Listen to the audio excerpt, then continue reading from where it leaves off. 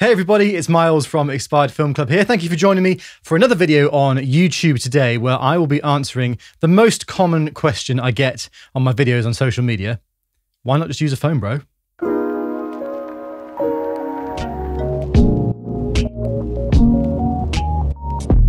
So, welcome along to another video here on the Expired Film Club channel. Thank you so much for joining me once again today. Uh, if you're new around here, please subscribe. We're very close to 2,000 subscribers on the channel now, which is awesome. Uh, and if you find the information in this video helpful, then uh, do drop a like and leave a comment as to whether you're a film shooter or whether you just shoot on your phone or something else. It'd be great to hear from you down there. But on to today's video topic, and that is phone versus film camera. Um, now, like I mentioned, I get this comment all the time on my social media videos uh, I think it's probably the most common question I get asked, to be honest, is yeah, but why not just use a phone? And I think it's quite a complicated answer, really. Uh, there are many different levels as to why I don't. Obviously, a phone like this one I've got here, uh, you can see my dog Monty on the background there, um, is extremely convenient, and you walk around with it in your pocket or bag basically the entire time. And we've got a very nice camera that you can just whip out of your pocket or bag and take a photo as you're going along. Uh, film camera, on the other hand, obviously you've got to load it with film. You've got to then send the film out to get developed or develop it yourself. You've got to scan it in. It takes a long time. It's not nearly as instant as your phone. But for me, it's always just worth it with film. So if you're watching this video in 2023, you may have heard that Kodak are once again increasing the prices of film as of March, which is extremely annoying and it makes it even more prohibitive for people to start shooting film or to continue shooting film uh, to me. And so I guess if you're watching this, you might be sort of thinking, maybe I should cut down on my film shooting a bit less in 2023. But there are ways of getting into film a little bit more cheaply. For example, you can shoot black and white film, which traditionally is less expensive than color film and also easier to find, and that helps on the costs and stuff like that. You can bulk roll film, you can start to develop from home yourself get lower res scans, all that sort of thing. Uh, or you can just use a little disposable or a point and shoot camera like I'm going to be using today. But for today's video, I thought it could be a little bit of an experiment. I'm basically going to go out with this point and shoot camera. This is an Olympus MJU2 and my phone, which is an iPhone 13.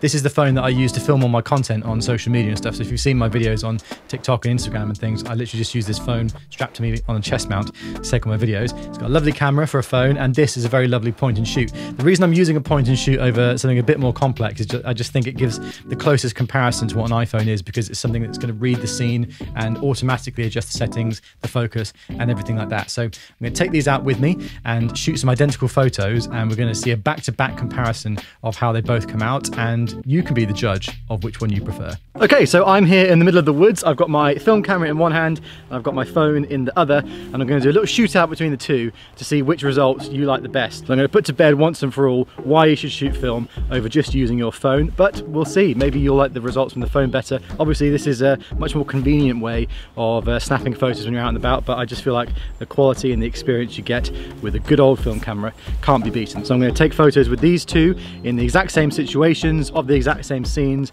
here in this woods in the Oxfordshire countryside, and we'll see which one wins.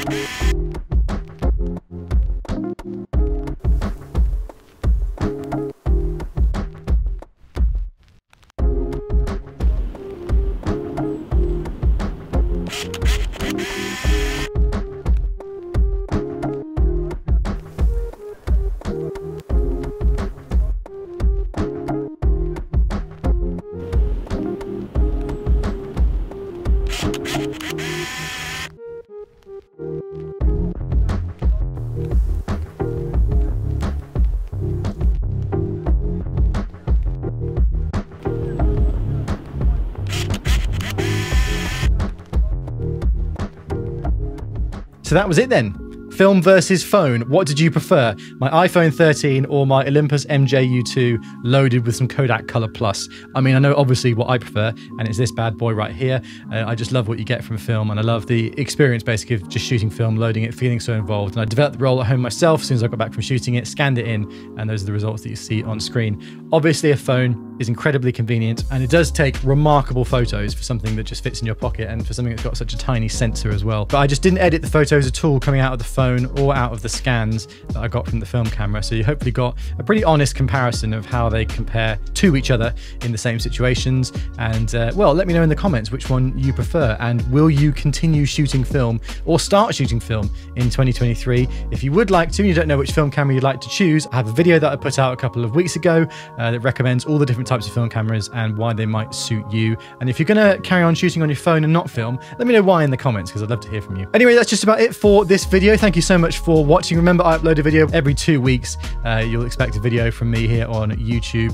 Uh, loving producing content here, so I hope you're enjoying it as well. If you have enjoyed it, a like would be greatly appreciated. And we're trying to hit 2,000 subscribers for this video, so if you could hit the subscribe button as well, that would be absolutely amazing. Also, check out all my socials. Links are all down in the description of this video. And if you're watching this video, you also get a special cheeky 10% discount off my store. So uh, go ahead and make the most of that. The code is in the description of this video as well. You can buy yourself a film camera or some expired film or some accessories from my store. The link for that is in the description as well. But that concludes this video for this week. Thank you so much for watching, everybody. I will see you here on the channel very soon indeed. This is Miles from Expired Film Club signing off for today.